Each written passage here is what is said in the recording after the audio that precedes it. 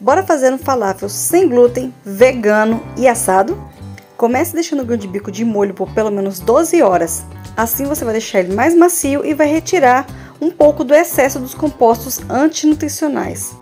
Passado esse período, você vai tirar o excesso de água, vai lavar e enxaguar muito bem. Assim, o grão de bico vai ficar de mais fácil digestão e também não vai te causar tantos gases.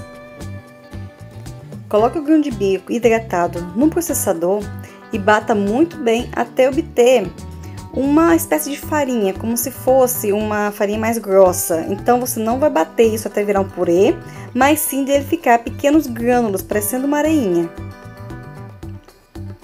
Feito isso, reserve o grão de bico e agora coloque a hortelã e todos os outros temperos.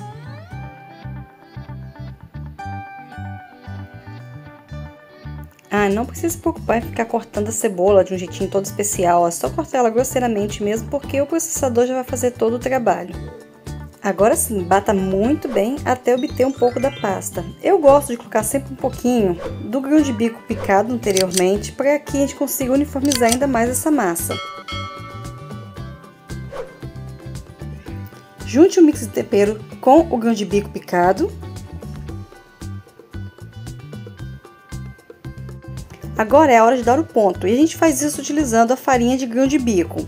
Você vai misturar muito bem e adicionando aos poucos até ela ficar um pouco mais dura, que você consiga formar as bolinhas. Tomando cuidado para não colocar demais, não corre risco de ficar seco.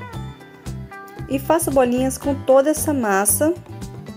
Ah, e lembre sempre de fazer uma grande quantidade para que vocês tenham sempre em mãos quando precisar. Imagina chegar em casa cansado e já ter uma fornada dessa te esperando já facilita muito o seu dia a dia. Pré-aqueça o forno e coloque o falafel numa travessa. Eu prefiro assá-lo porque fritura não combina com saúde, mas eu sempre gosto de colocar um pouquinho de azeite na parte superior, pois assim deixará ele mais úmido.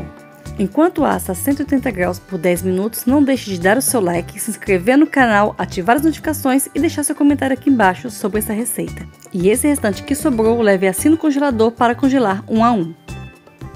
Retire do forno com muito cuidado e deixe esfriar um pouco antes de consumir.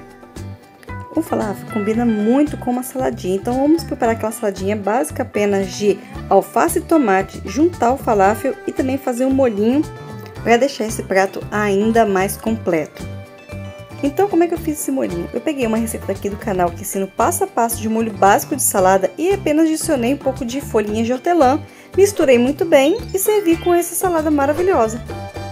E tá aí, uma receita árabe, não vou falar o país porque eu não quero arranjar briga por aqui. Sente só a delícia que isso é.